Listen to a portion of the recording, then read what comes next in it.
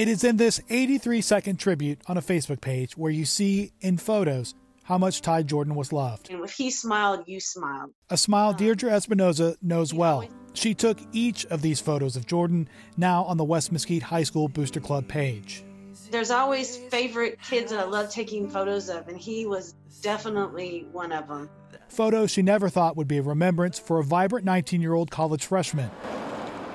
Jordan died early Saturday in Denton. The Tarrant County medical examiner says from a gunshot wound to the abdomen. The address listed on the ME page is the same one Denton police responded to late Christmas night near the UNT campus for a shooting.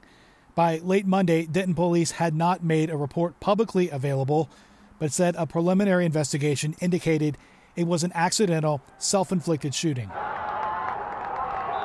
Ty Jordan had just completed his first semester at the University of Utah in Provo and was named Pac 12 Offensive Freshman of the Year in football. We love Ty and we, we're going to miss him. Jeff Neal coached Jordan at West Mesquite High School. The thing that we loved about Ty was not the, you know, it wasn't the speed and the athletic ability and all those type of things. It was it was his heart and how big it was. Neal says his memories now will focus on the too short life this young man lived Memories Espinoza says she's thankful she was able to capture in pictures.